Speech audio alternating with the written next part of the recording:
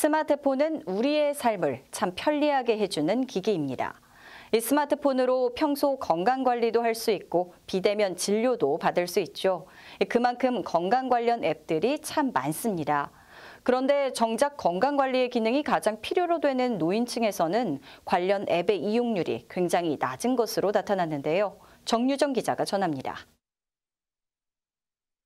분당 서울대병원 등 공동 연구팀의 조사 결과 건강관리 앱은 넘쳐나는데 정작 정보 이용이 필요한 노인의 13%는 스마트폰으로 전화나 문자만 이용하는 것으로 나타났습니다. 신체 기능이 떨어진 노인은 만성질환 관리나 복약지도 같은 질병에 특화된 앱이 필요하지만 스마트폰 조작에 어려움을 느껴 각종 정보를 이용하지 못합니다.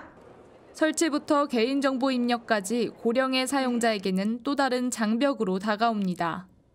한편 국내 연구진들은 디지털 격차를 해소하기 위해 중요 기능을 단순화하고 사용 편의성을 개선해야 한다고 전했습니다.